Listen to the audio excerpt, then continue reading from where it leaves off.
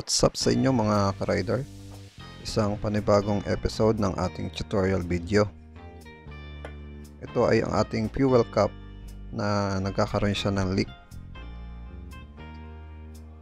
Yan. Sa mga makaka-encounter ng gantong problem mga ka-rider, actually naka pangalawang palit ko na to bumili ako sa kasa ng isang bagong cup na ganito rin no? at ito na yung pangalawa ganun pa rin ang issue niya. Naglilik pa rin yung ating uh, fuel cup ng ating motorsiklo. Kaya kapag nagkakarga tayo ng full tank sa ating motor ay ganito ang nangyayari lagi. Sayang yung excess na gasolina. Dahil gawa nito yan. Naiipon siya dito sa may butas no ng ating fuel cap. Kung mapapansin nyo mga ka-rider no. So tumutulo siya. Ngayon, yung tulo na yan, naiipon dun sa pinakaloob. Siya namang dumadaan dito sa takip no. Kaya tumatapon dun sa ating tangke. So, instead na makukonsume pa natin sa pagbiyahe, nasasayang siya kasi natatapon. Yan. At the same time, kapag bumabiyahe tayo, yung ating tanke, syempre, hindi naman normal na nakasteady lang yan. Tumatapon-tapon siya, maalog-alog. So, tendency, tumatapon din yung ating gasolina. So, tinanggal ko tong ating rubber, no? Para makita nyo actual. Yan. Naiipon siya dito, no? Hindi ko lang alam kung somewhere dito sa may gilid. Kaya tumatapon yung ating gasolina. Pag nakatakip na siya, doon na nagsisimula yung leak, no? Tumutulay dito sa paligid ng takip. Kahit may rubber yung ating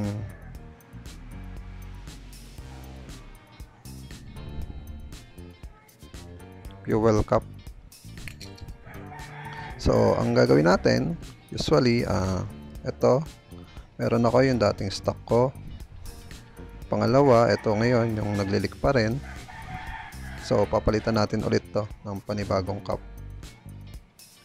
Ito ay replacement na lang ang aking binili ng mga rider. Tingnan natin kung ano mas effective ang ating bang stock na galing kasa or yung replacement.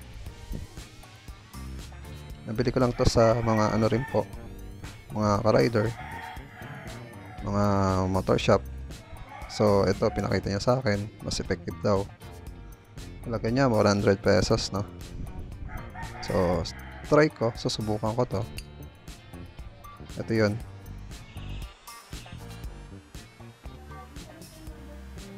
Yan. Ito ang gagamitin natin. Kumpara dito sa isa Puro original pa nga to, mga ka-rider, no? Ito, mukhang sa, ano to eh, yung barako. Parang mga barako, yung mga matataas, ang, nasa taas yung tangke, nasa harap. Kaya, feeling ko, siguro naman dito, uh, hindi na siya sasablay, no, mga ka-rider. So, ito try natin. Yan. Ito, tatlo na yan, mga ka-rider. Yung una, yung dati replacement ang aking ikakabit ngayon no, mga rider ito. Yan. So tignan natin kung magkakaroon pa rin ng leak. Ah, itong tangke natin mga rider ay pina full tank ko to no. Kaya makikita natin kapag ang nabili ko na replacement ay hindi na siya magli-leak or kagaya, kagaya pa rin itong ating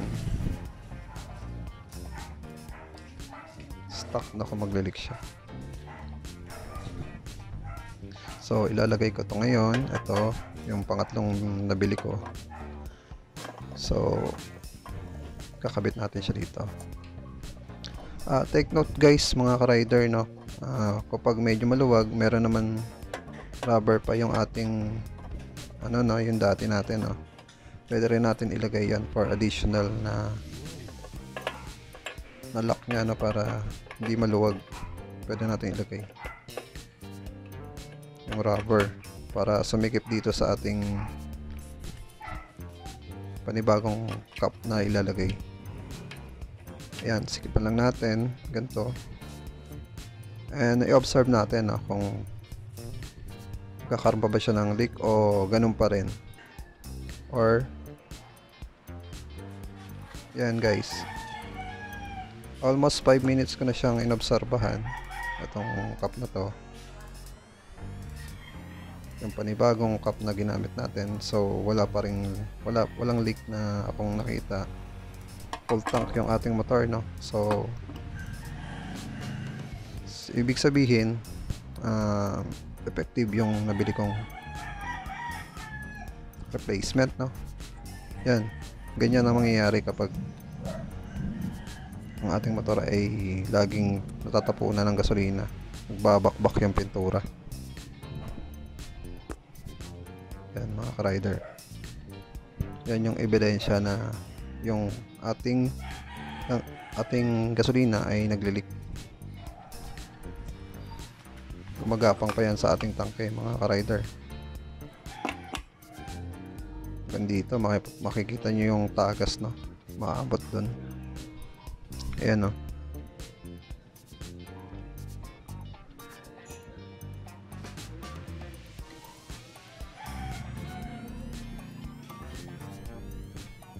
Yan, hanggang dito sa kabila.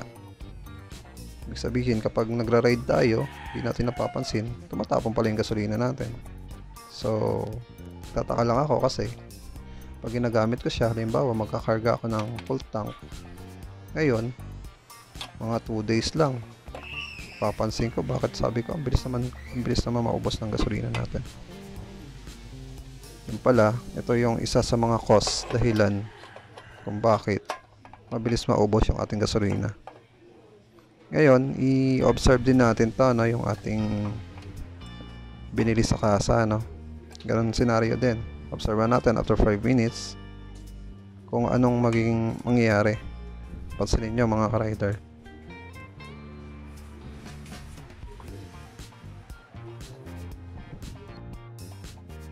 So, after 5 minutes mga ka-rider, ito, binalikan ko yung takip no, ng ating tinanggal na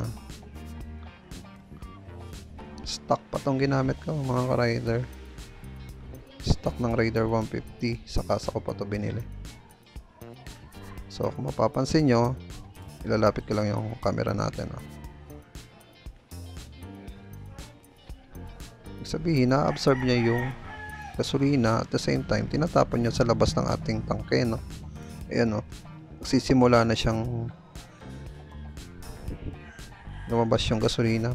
Paano pa kung tayo ay umaandar? So hindi natin napapansin umatagas na yung ating gasolina. Pwede pa yung pwede pa rin yung maging cost ng summer na maging cost ng fire. Kaya at yan naka-steady pa lang yan mga ka-rider. Wala pa tayo sa ride. So what if kung nagra-ride na tayo? Sa mga yun lang mga ka-rider. Kung mga interesado kayo sa mga video na aking nagawa ito meron ako mga iba pang video na makakatulong sa inyo. At sana mga ka-rider ay supportahan nyo. Isang suporta lang.